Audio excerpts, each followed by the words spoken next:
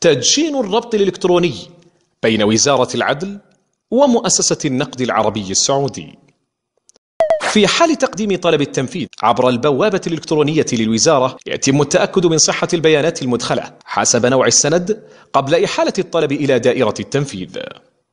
بعد ذلك يتم إرسال الطلب إلى دائرة التنفيذ والتي بدورها تخضع الطلب لدراسة وافية من خلال التحقق من نوع السند التنفيذي والتأكد من استيفائه الشروط النظامية.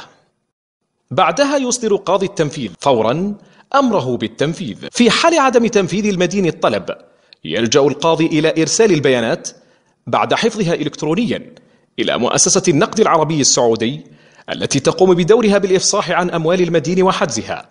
والتنفيذ عليها. بعد ذلك تقوم المؤسسة بتحويل المبلغ من أرصدة المنفذ ضده إلى حساب دائرة التنفيذ. بعد ذلك تقوم الدائرة بإصدار شيك لطالب التنفيذ بالمبلغ الذي تم تحصيله. بعدها يتم رفع الحجز عن أرصدة المنفذ ضده عند انتهاء العملية.